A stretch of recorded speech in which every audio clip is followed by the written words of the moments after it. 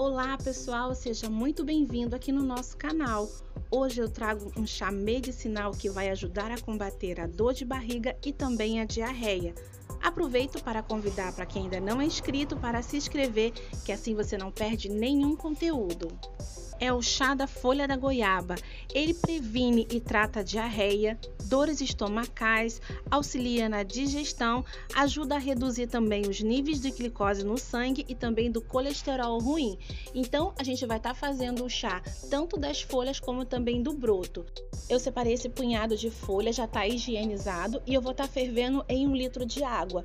E você vai estar tá consumindo esse chá em temperatura ambiente de meia e meia hora.